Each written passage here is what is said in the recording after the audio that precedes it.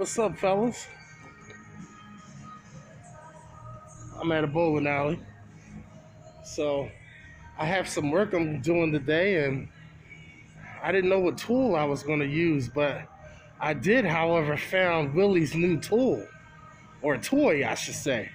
Cause I like I like these toys, man. These toys make make my life easier. Plus, you know, I make bucks. You got a good toy and a good tool to make some bucks. By any means, it's just not a toy. Cause uh it's a cleaning machine. Alright, so this is the e-squeegee that I was telling y'all about. It's a fabulous tool, man. Like I said, it's plastic, but it's not the same plastic it's made out of the handle. I don't believe. Uh, it seems to be a different uh, type of a plastic. So this is water fed, as you can see, and uh, it has the gliding strip. Willie chose the uh, microfiber pad as the gliding strip. So that'll be interesting to see exactly uh, how this moves. I just wet the pad. I haven't used this just yet, but um, we're about to put this into play. I'm a little concerned about the hose on the end.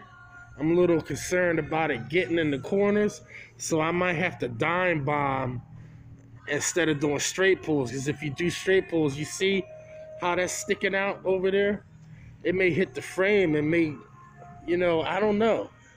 I think Willie Willie should design a new concept with the uh, water delivery system because he's kept the same thing for years uh, with the wave and, and the other things. There's nothing wrong with it, but I mean, it could could be a little bit more. Uh, how should I put it?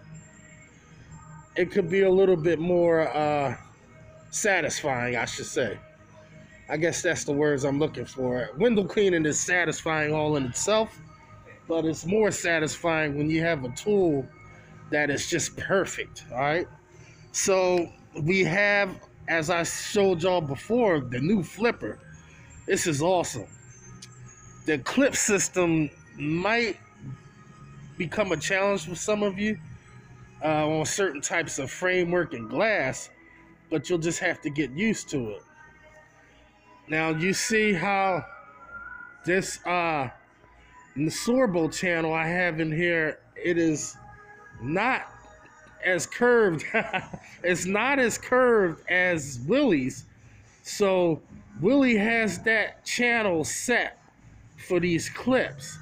The reason why it has more of a curve so you can close out better. With this, it produced a challenge because it's not as curved. So, hey, what's going on? So, what I did was I heated the clips up.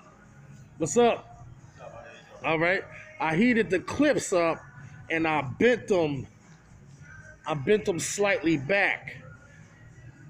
All right.